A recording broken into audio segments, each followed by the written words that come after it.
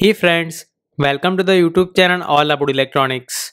So in this question, we have been given this diode circuit and here we have been given that the diode in the given circuit is the ideal diode. So here, this input voltage V1 is applied to the given circuit and as you can see, this input voltage can be given as 10 times sine 100 pi t. So here, we have been asked to find during the one period of the input signal for what duration this diode remains in the forward bias condition. So let us find that.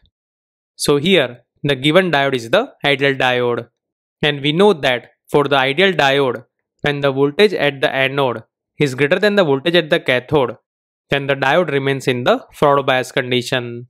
So here if you see then the voltage at the cathode of the diode is equal to minus 5 volt right that means here, when the voltage at the anode is more than the minus 5 volt, at that time, this diode will remain in the on condition. Or in other words, we can say that when the input voltage Vin is more than minus 5 volt, at that time, this diode will remain in the forward bias condition. So here if you see, then the input signal is the sinusoidal signal. And this input signal V in T can be given as 10 times sine of 100 pi t. So if we compare it with the A sine omega t, then we can say that over here the amplitude of the signal is equal to 10 volt while the omega is equal to 100 pi and we can say that this omega is equal to 100 pi or we can say that the frequency of the oscillation is equal to 50 hertz. So here, since the amplitude of the signal is equal to 10 volt, so here the positive and the negative peak will be equal to plus minus 10 volt. And here, whenever the input signal goes below the minus 5 volt, that means during this duration, the diode will go in the off condition.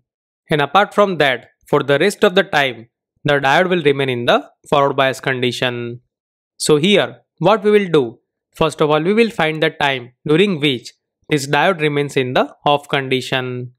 And as you can see over here, that time is between these two points. So let's say the one point is equal to T1 while the another point is equal to T2. So here what we will do, first of all we will find the time duration for which this diode remains in the off condition that is T2 minus T1 and once we get that then it is easy to find the time duration for which the diode remains in the forward bias condition. So we know that at these two points, the amplitude of the signal is equal to minus 5 volt. So we can say that at time t is equal to t1, this amplitude of the v1 of t is equal to minus 5 volt and that is equal to 10 times sine of 100 times pi t1 or from this we can say that the sine of this 100 times pi t1 is equal to minus 1 by 2. So let's say this angle is equal to alpha or to be precise let's say that is equal to alpha 1. That means here this alpha 1 is equal to sine inverse of minus 1 by 2. So if you know then for the sine wave when the angle is equal to pi by 6 at that time its amplitude will be equal to 1 by 2. And similarly, when the angle is equal to pi minus pi by 6 or that is equal to 5 pi by 6 at that time also the amplitude will be equal to 1 by 2. And likewise, when the angle is equal to pi plus pi by 6 that is this point at that time the amplitude will be equal to minus 1 by 2. So we can say that if we see the angle at time t1, then that will be equal to pi plus pi by 6 or that is equal to 7 pi by 6. And once again, it will become minus 1 by 2 when the angle is equal to 2 pi minus pi by 6 that is equal to 11 times pi by 6. That means for the time t2, if we see the angle or the alpha 2, then that will be equal to 11 pi by 6 and the alpha 1 will be equal to 7 pi by 6. So this alpha 1 is equal to 100 times pi t1 or from this we can say that this T1 is equal to this 7 divided by 600. So that is equal to 11.66 millisecond. And similarly, if we see the alpha 2, then that is equal to 11 pi by 6 and that is equal to 100 times pi t2. So let us compare this angle with the 100 pi t2. So from this we can say that this t2 is equal to this 11 divided by 600 and that is equal to 18.33 millisecond. So in this way we got the time t1 and t2.